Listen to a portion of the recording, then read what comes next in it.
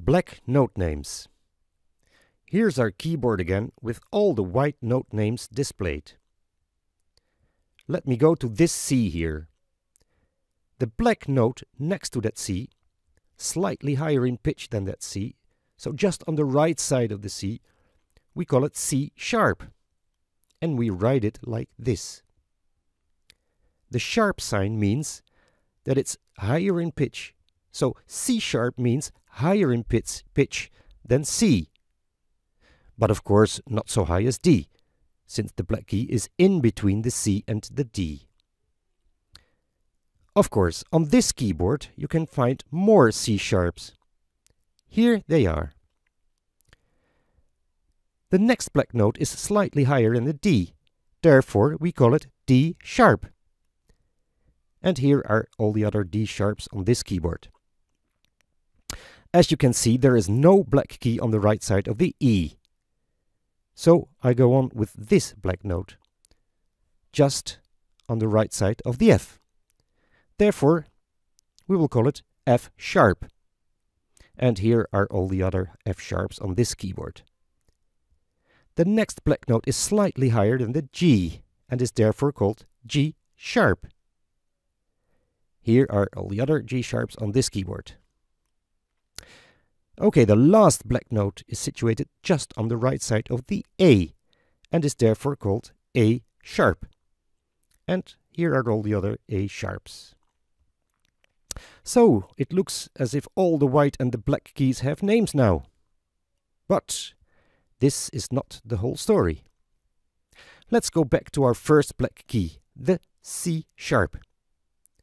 We called it C sharp, so with a sharp sign, since it's slightly higher than C. You can, however, also see it from the point of view of the D. It's not only a higher C, but also a lowered D. Now we call a lowered D a D flat, and we write it as follows.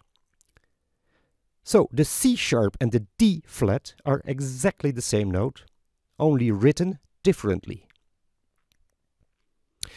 Okay, this is of course not the only D flat on this keyboard. Here are the other ones. In the same way, we can call our D sharp a lowered E, so an E flat. And here are the other E flats on this keyboard. The F sharp is in the same way also called G flat. And here are all the, all the other G flats on this keyboard. The G sharp is also called A flat. And this are all the other A flats. And finally, the A sharp is also called B flat.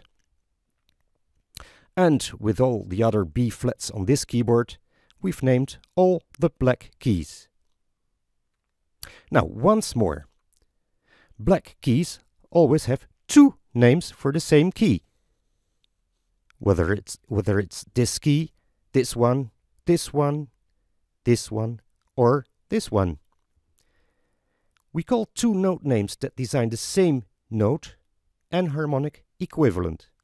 So, for example, this C sharp and D flat are enharmonic equivalent because they are one and the same note. So, now we've named all the white and all the black keys on the keyboard.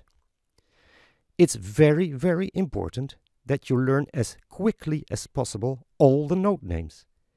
You will absolutely need them to follow this course. So, before going on, practice them so that you know them all. To resume. To find the note names, you have the following rules. The C is just on the left of a group of two black keys. From the C, it's easy to find the other white keys. They are in alphabetical order and go from A to G. And to find the black keys, a sharp means higher, a flat means lower. Now, in the beginning you will need these tricks to remember all the note names.